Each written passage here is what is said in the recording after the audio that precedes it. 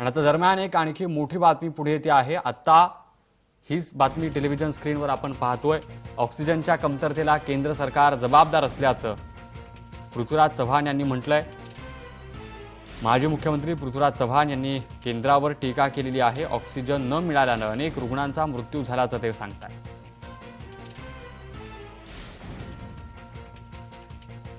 माजी मुख्यमंत्री पृथ्वीराज चव्हाण यांनी केंद्रावर टीका केलेली आहे. त्यांनी असं म्हटलंय की ऑक्सिजनच्या कमतरतेला केंद्र सरकार जबाबदार आहे.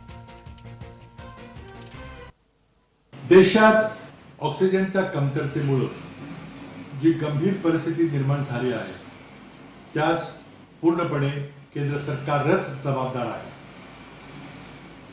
केंद्रीय आरोग्य सचिवांच्या पाच महिन्यापूर्वी घेतलेल्या वीस ऑक्टोबर दोन हजार वीसच्या पत्रकार परिषदेतून हे स्पष्ट होते.